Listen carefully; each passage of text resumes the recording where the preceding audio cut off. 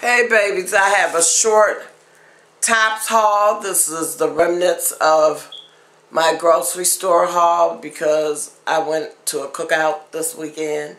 So therefore, I bought a lot of stuff from the cookout, but it wasn't here at my home. But the great thing is, the sale price will have you going crazy. They had ground beef on sale at Tops for $1.99 a pound as long as you buy in a six pound package or larger.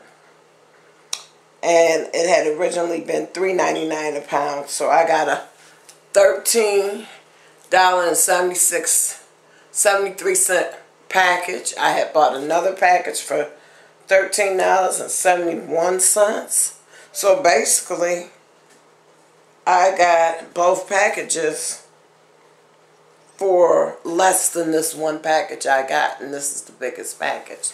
So I can't go wrong. I intended to break it down and um, package it. I am going to break it down. I doubt it winds up being in the package that I want it. The packages that I want because it's frozen. But I got a trick for that. A clean dish rag and a hammer, crack that shit down and make a couple packages out of it. Only way to go. Anyhow, I appreciate you all. I love you all. I appreciate you subscribing to my channel, giving me a great big old thumbs up.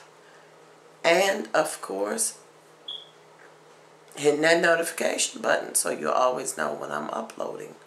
Toodles.